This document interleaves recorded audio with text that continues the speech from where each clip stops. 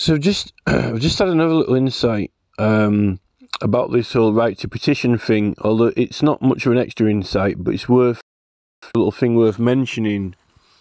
Is that for Henry Pollexfen, who himself he was only in position for about two year. Um, although this really really significant and important event, this glorious revolution with William III. So there, there is an act in 1700 um, which clarifies privileges. Okay, um, need to find that act. I haven't found it yet. Um, and that, that act, I think there was subs- there was actually earlier ones. There was one from the 1600s as well. Um, so they had privileges acts, which I didn't know about all the way through that. It's interesting that um, it doesn't use the word privileges in the Bill of Rights. I don't know exactly who's responsible for the Bill of Rights, but we know that um, William Penn's case and various other cases, a lot of these cases from the archives, the actual petition archives um, of the House of Lords, a lot of them all seem to be contributive um, towards the instances and things that happened. So, but what what um, with Pollexfen, on his Wikipedia page, um,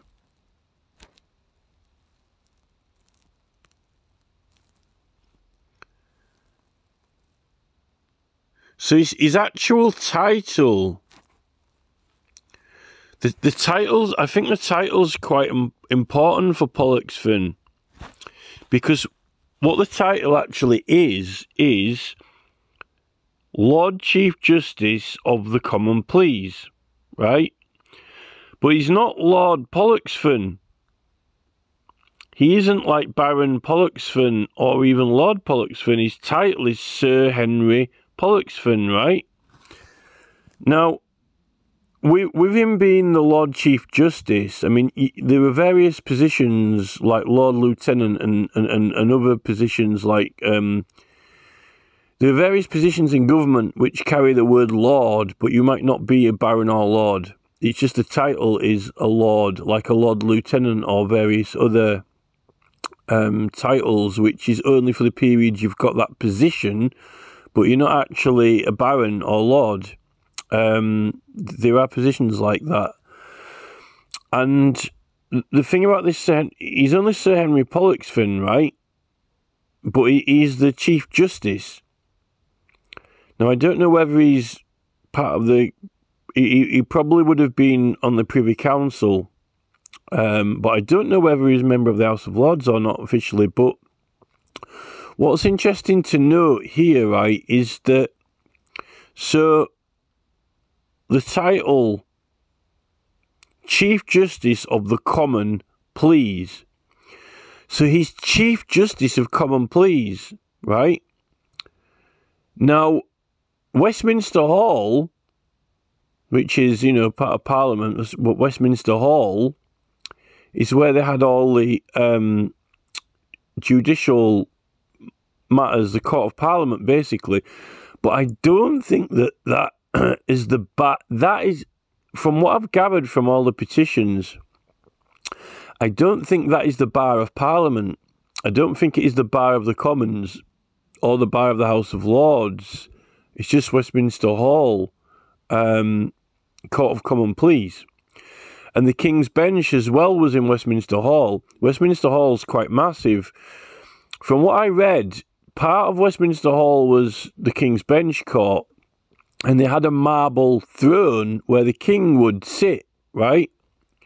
Obviously, it's the King's Court the King's Bench. That's the whole point of it.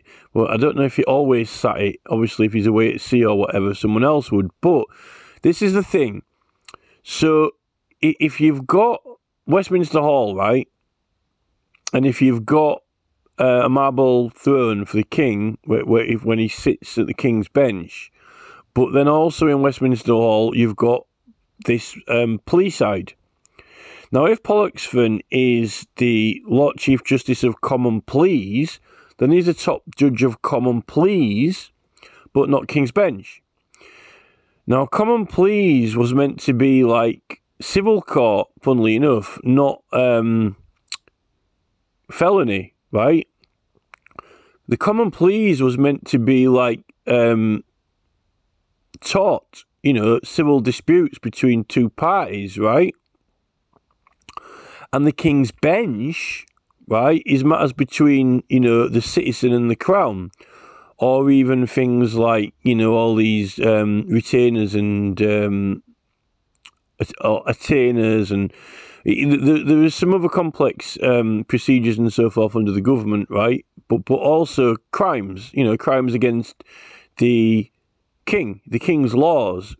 Although it's you know it's usually crimes against a citizen, but but it's the king's laws, right?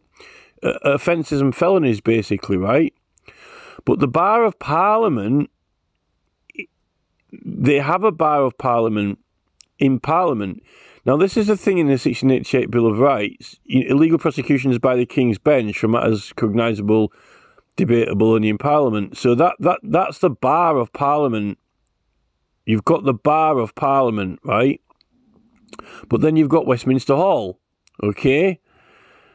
So now the thing is, if you're putting a petition to Parliament, any matter, any any petition to Parliament or any matter with Parliament is to the bar of Parliament. That's for sure.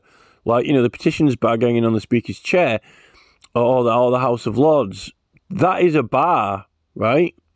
Those matters and concerns. Okay. Now it says for illegal prosecutions, Article 9 in the Bill of Rights, it says illegal prosecutions by the King's Bench. That's the, the criminal you know, offences against the state, right, and, and the king's law, right, illegal prosecutions for matters decidable, debatable in Parliament. Well, if you've taken a matter to Parliament, then that that cause is is to that bar. Okay, I think I think that's that that that's basically it, right? See, illegal prosecutions by the King's Bench. So you can't be prosecuted for offences, crimes, criminal offences against the state. Well, why would you be prosecuted against, um, you know, um, crimes against the state? Well, if you broke them, you know, it, it, it, it's, you know, the, it, it won't, you know, why, why would they be trying to do it, you know? Prosecution is to, to, to, to, to, to try someone for a crime. You know, if it wasn't anything to do with trying someone for a crime, why would it say, why would it mention it, right?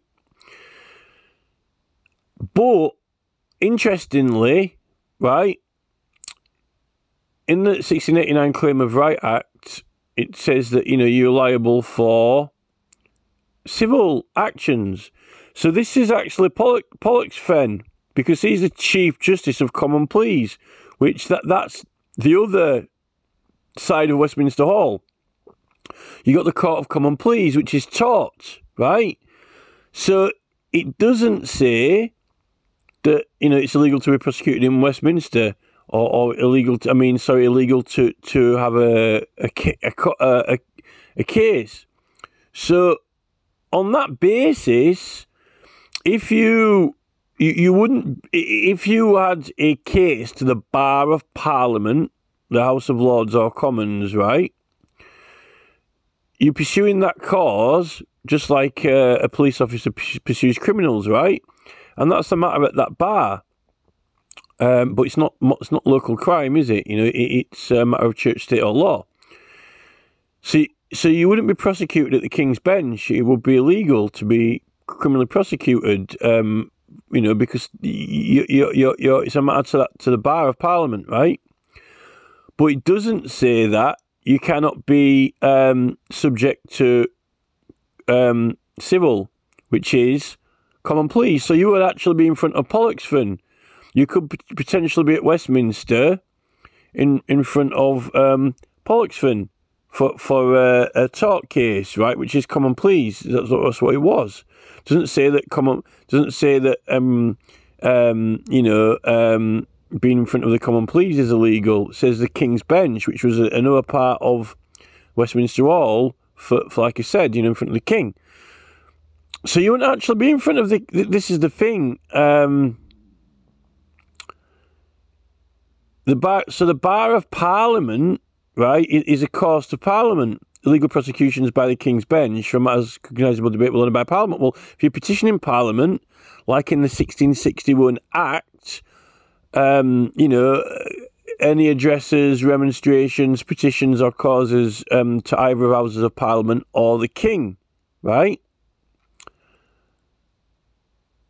So, so, so that would be both bars of Parliament, illegal prosecutions by the King's Bench, if you've got a matter to either houses of Parliament. So that, that actually comes under Article 9, um, illegal prosecutions, right? And it fits it perfectly because um,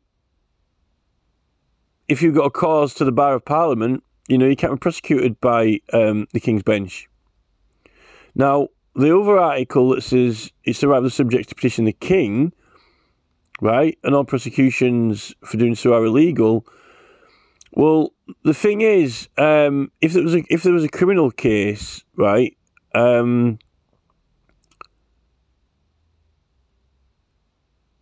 if the king is to deal with, you know, offences against the crown, right? D- does that actually mean um, all the way up? Does it actually mean all of the king's courts? Anyone bringing any kind of case, you know, whether it's um, the police themselves, you know, um, in, in local jurisdictions, you know, this is a king's court.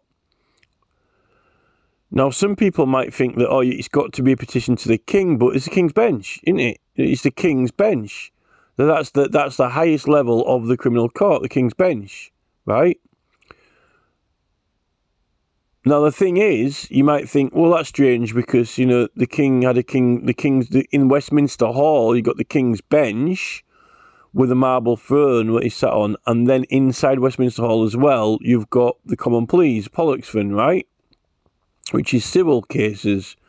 So you've got to, you, got the, the, the, the Chief Justice of Common Pleas and the King in Westminster doing two separate kinds of running two separate kinds of cases. But then you've got Parliament, remember, you've got the House of Commons and the House of Lords. And you've also got the King in the um, House of Lords, because that's where the throne is for Eng- the throne of England, right? So that that's the irony because you've got the king's got uh, King's Bench with his marble throne in Westminster Hall, but he's also got you know um, you know the House of Lords when he's in the House of Lords. Although they have a the House of Lords has a speaker as well, you know, like the the Commons has a speaker, but then the, the King's in there also. But you might say, well, what about you know Westminster, um, Westminster Palace, right? And so forth. Well, apparently anyone can approach or petition the king anytime anyway, including, you know, there's also the Privy Council. But the thing is, it, if you read like all through the 1600s leading up to the Civil War, they had the Star Chamber and so forth and the Court of High Commission. Now, those were courts that the king could call or assemble at will, right? It didn't necessarily have like Westminster Hall or the Bar of Parliament or anything well, they had that star chamber. There was a painted chamber as well, which was another. The painted chamber wasn't um, the bar, it wasn't Westminster Hall. It was just another place where they had committees, or but they, they did sometimes have um, you know um, judgments made in there and so forth. The, king could call his court of high commission wherever he wanted. Sometimes they had it in York. Um, so the various courts that the king could have with his own authority and power at will, and also when he's traveling around, because you know, like the you know, this is going back a bit further now than you know 1600s. This is going like back into the 15 and 14 and 1300s. But this is what when the king is going around the country or going around his business, the kingdom or whatever, or you know, um, he, he can just you know have a court because sometimes they didn't even have actually courts anyway for normal proceedings. They just were held in certain houses or whatever, you know. This is a little bit more like, you know, um, on Robin Hood, Prince of Thieves, you know, when um, the king comes back, you know, um, at the end and so forth, you know, he's just wherever he is, you know, with his people around him, you know, he can just almost like knighting people, you know, he, he can he could knight people on the spot. He didn't have to be at a certain place in a certain ceremony like now they do it. He could just be, you know, um, if the king is in France or in, you know, Jerusalem or wherever, if he's just traveling, you know, if he's in a war, I mean, he might just, you know, knight someone on the spot there and then, for example, because um, that, that he's got the power to do that. Um, now the question is, you know, the justice when the justices are doing their circuits for the assizes and the quarter sessions, that is not the local magistrates or the hundred divisional court, which is what our peers are in, which where we have protection from judgment of our peers if we are the one pursuing the cause or raising the cause, at least while you're pursuing it, right? Um, and particularly when you're doing it to the bar of parliament, because it's not going to be judged by it, it, the matter that you're. If you're chasing a criminal, right, and you know you have to rubber tackle him, and you know is that going too far or not, or you know did you, you know, that is matters for that at, at the bar where you'll be, where you're pursuing that matter, so to say. So it's not at the bar of the hundreds court or the local divisional court.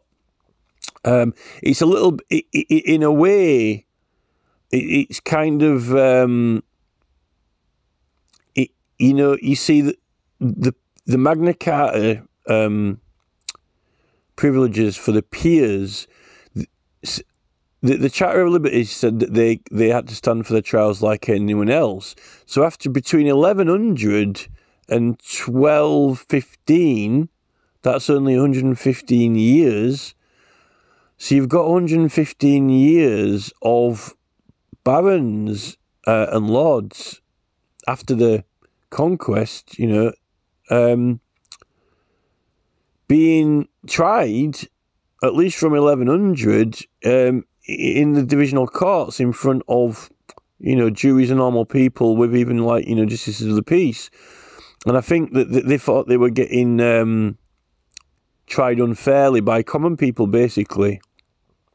So that's why the barons made Magna Carta it, it actually made it so they could only be tried by their equals. So so they wouldn't really be tried in the divisional courts. Um, I think that if I'm, and I need to do a lot more reading in history on this, but it, it, it's looking at the moment to me like they would be tried at the assizes or quarter sessions only, not at these um, divisional courts, because usually the although not always, but most of the time at these quarter sessions, remember it was only four times a year, and then the sizes were only twice a year. Um, so there's only like six six of these sessions a year, and the twelve months in a year. So I mean, there's not even one for every month. If it's twelve months, if there's only four, five, six, there's only it only on average. I'm not saying exactly what time they were, but they had them at they tied him with the Christian, like Michaelmas and um, Hilary Term and all these other religious um, religious um, festivals and, and, various things. They also had those later on. They had those um, pie powder courts as well. I don't think that the lords and barons would have been tried at pie powder court either. I wouldn't have thought. But anyway, that's that's that's just my speculation. You've got to check up on it. Um, what I think the the site so it, on, on average like you know it's around every two months you know on average um you know twice a you know um once every two months these courts although they probably didn't actually you know it's sometimes you might have been waiting longer or shorter depending on what um time of year it was but but on average it seems like there were around six so that's you know two months you know, every two months or so. And they would have been sat by actually some of the peers were these judges, you know, um, basically other lords and barons and earls and so forth. But there were some knights. Now I don't know about the knights because I don't know if if if being sir, you know, like whatever sir sir, um, is you know about that Conan, Do- you know, um, Arthur Conan Doyle. Um, he was a he was a knight, sir, or, even David Attenborough. Sir David Attenborough. I don't know if being knighted made you equal to the, the earls, barons, or lords, or or give you the ability to judge them, or if you are a justice of the assizes, right? I don't know if being an uh, an actual, you know, oh, I'm a judge, but it definitely, I don't think it, it definitely wasn't these justices of the peace. Um, I, th- th- and I, I, this is, you see, this is actually, I've realised how important this is to the whole um, peculiar affairs of Lord Hanningfield at Southwark Crown Court at the, well, that that's the Central Criminal Court, the old Bailey, oh no, it was Southwark, wasn't it? Not the old Bailey. I was thinking of the old Bailey Central Criminal Court, but Southwark Crown Court is still a Crown Court. Now, the judge was His Honour Alistair McCreath, right? But he's he wasn't he's not a knight and he wasn't a baron or lord, but he was a justice, a judge, you know, of the circuit. Now, this is the thing of the circuit judges only very select justices have a right to sit in the House of Lords. There are, I mean, the Lord Spiritual and so forth. But now even even the Lady Chief Justice, who is a Baroness, right? They're not letting her vote in the House of Lords at the moment. Uh, she can't vote in there, which is uh, says much for the suffragettes, doesn't it? You know, um, they're saying that the the the, the lords who are judges don't actually vote on political matters now, which I think's a bit more of a stripping down of the um, dismantling the constitution further. Um, but she's a member of the House of Lords, but she didn't vote in there, which is kind of odd, really, because it seems the whole point. Um, you know, it, it seems rather ridiculous. I, I, I think that um, Gordon Brown made a, a, big cock up of the Constitution, probably as much as Tony Blair with this congestion charge and Ken Livingstone, really, um, with, with the congestion charge zone and Magna Carta. Well, if that's a good example of much of a cock up they've made with Magna Carta, then just think of what they've done with this Constitutional Reform Act, this, the idea of the Supreme Court. Because the, the, the, there's, a, there's meant to be a constitutional hierarchy and basis for it all, um, you know? So this only a, a, a, small number of certain particular justices can sit in the House of Lords, but now they don't vote. They, those justices don't actually vote in the House of Lords, right? But so I don't know what's the point in being in there. Um, it's just they're in charge of the courts. So they're in charge of the courts, the members of the House of Lords, but they don't vote in there. But that's not McCreath, is it? It's not McCreath. So, but Jeremy Johnson, he um, said that, you know, he put this privileges argument for Hanningfield, say that, oh, it's matters of parliament, which is on the basis of the matter or cause was at, at the bar of parliament, basically. Uh, but it, it, says in the, according to um, Erskine May, um, according to Erskine May, fraud or forgery is a forfeit of privileges, so you can be tried for it. It's officially declared that you know if, if it's a fraud or forgery case or, or claim, if you've got evidence for that, it, it, it, that is a breach of privilege. But they're saying that maybe Parliament decides if it's a breach of privilege or not, which is mainly what the Privileges Committee does, assess whether they can be prosecuted or not. Because in all those old petitions, they're actually asking for permission to prosecute. So they get permission to prosecute and then they can do it, which is actually how I would have thought that that's how Hanningfield ended up there because they didn't intervene. So I don't know if they were intervening at last minute or not. But in, if you read it, what he wrote in six pages, it says that oh, there's nothing prevent you know, he, he, he, he's dallying around. You know, there's nothing preventing it from going ahead, but it might touch on matters of you know, it, it, it, that to me is pussyfooting around because um, in um, in the earlier ones, in the earlier petitions, which give um, a lot of details about all this, um, there was actually very proper. You know, they, they, were they were asking permissions and consents and so forth. Um, which I don't know how you can waiver. If something's set in law, then I don't know how you can waiver it. Um, you know, but the, the peer privilege definitely permanently protected them from the hundreds divisional courts, which is equivalent to the magistrates' court now. That's for sure. So all of the other arguments about the privileges wasn't their Magna Carta privilege that they, they never would, from what I can gather, they never would get prosecuted by the magistrates' court or equivalent to the magistrates' court. And if they did, that's why they were asking to be released all out. Um, it was done in error, only by the assizes, right? But not all of them might have been educated, even though they've got these titles. Now, the thing is that they were arguing about privilege to do with the sessions of Parliament. So, so that was a different privilege. They were actually arguing um, privilege of Parliament for like MPs and members. Now, I know that because not all lords and barons actually got called to Parliament. Some of them had got titles, but they weren't called to Parliament. You, can be a baron or lord, but, but not called to, to sit and vote, which is effectively like what they're doing with the Chief Justice now. Um, you know, uh, if the Chief Justice is not voting in Parliament, how, how has she got um, Parliament privileges?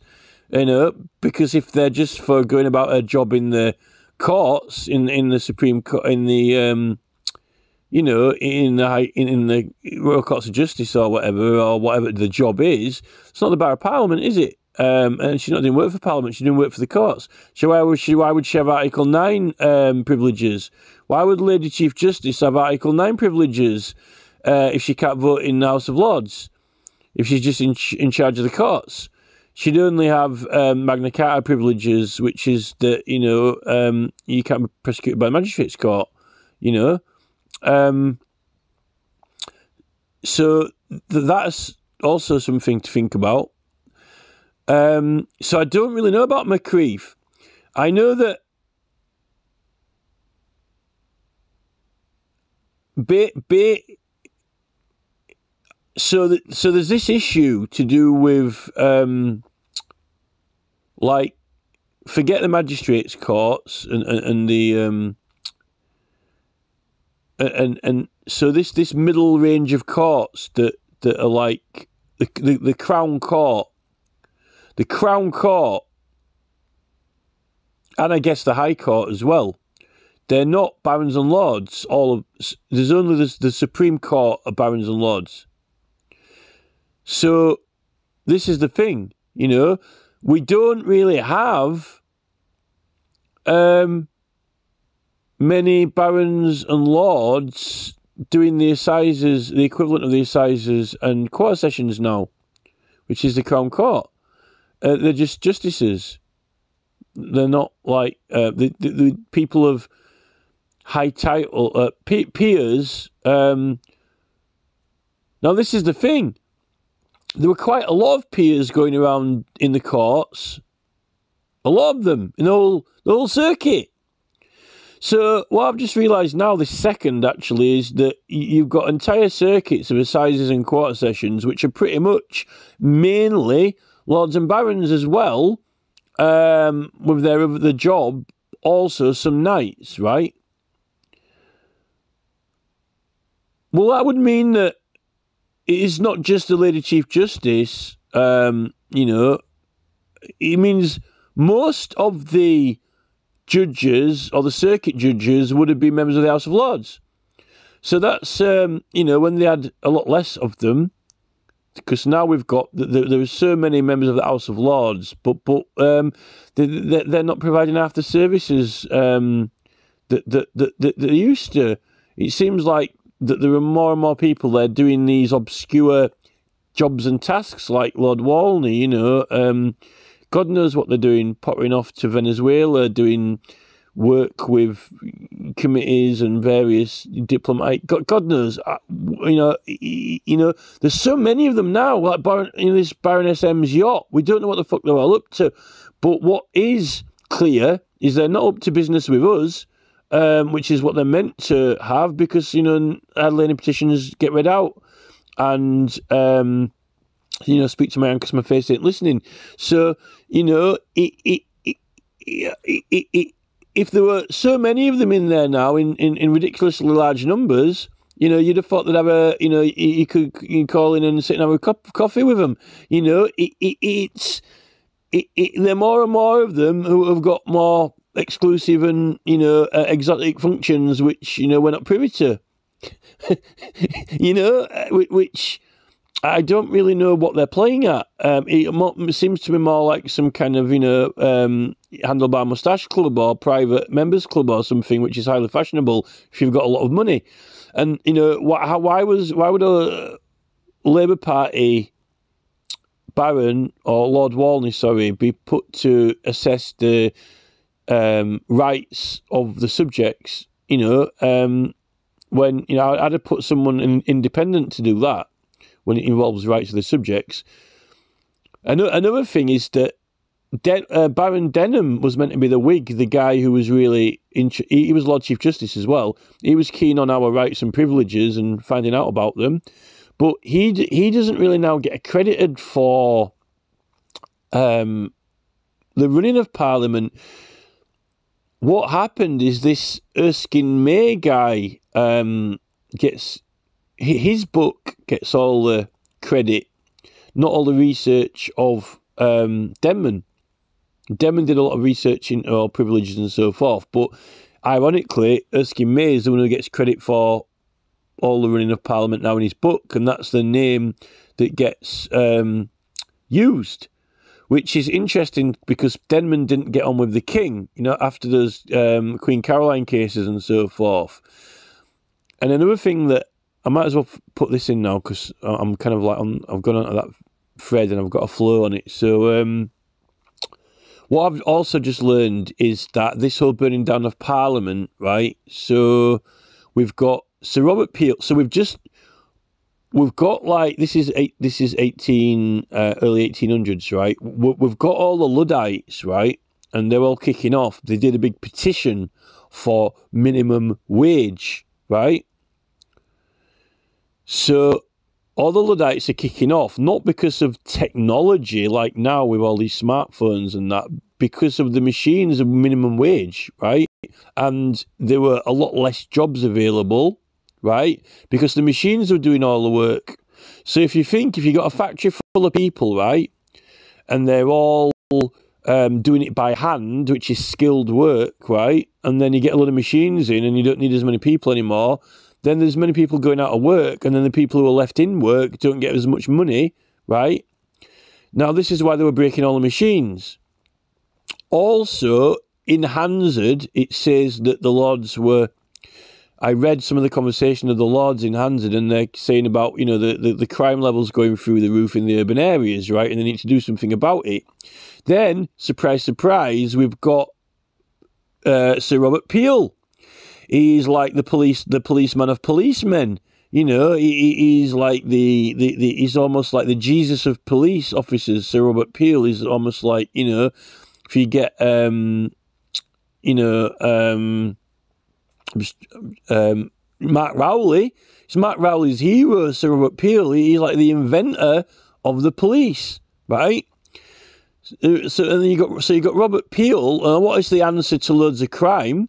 and loads of people kicking off about you know low wages and that the, uh, there's a massive huge petition which they rejected right and then um, Denman is defending some of these um, Luddites and so forth and some of them got hung but not all of them got hung and I think there was a final case because it was in Nottingham um, I think because I don't know whether it qualified for privileges or not if they're going to be breaking machines up, which is kind of a little bit like similar situation now with Extinction Rebellion um, kicking off and, and various things. But I think they ended up stopping prosecuting them, the Luddites. But what I'm saying is that the the government and the um, you know all uh, factory workers and the barons and earls, they decided that you know these people, you know, that, that they're not going to have a minimum wage. So they're actually, if, if machines are making less jobs available, and if there's no minimum wage, then you're going to have more people committing crimes. Clearly, because you know it, it, as more machinery comes, then there's less and less jobs. Uh, you have to find other jobs or go leave the countryside where the mills are, maybe in certain um, countryside areas or, or, and city. But then you know, there's more people going away, going to find more jobs. You know, if the um, you know, and they also got farming machinery. So you know, it, it, it, may, maybe people did move to the city to look to try find more work. Um, but there's definitely a massive upsurge in crime. Now, the, the resolution for this, Sir Robert Peel, also is, you know, get a police force, permanent, proper police force. So, and this is the thing. Now we're saying, why do we need all this tech and surveillance and facial recognition and seeing where everyone's going if there wasn't any crime? You wouldn't need it, would you? So they were actually, by refusing the Luddites, they actually created